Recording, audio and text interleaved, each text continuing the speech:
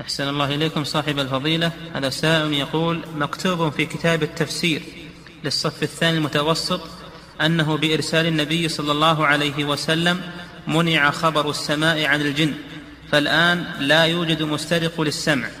فهل هذه المعلومة صحيحة؟ أم أنه, أم أنه يوجد الآن مستراق للسمع ولكنه بقلة؟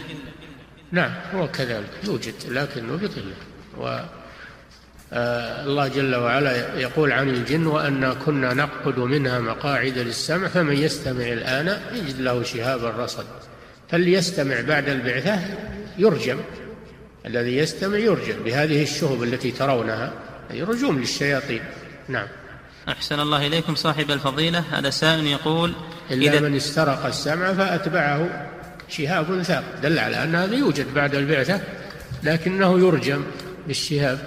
وربما أنه ينجو من الشهاب ويبلغ ما معه للكاهن كما في الحديث. نعم.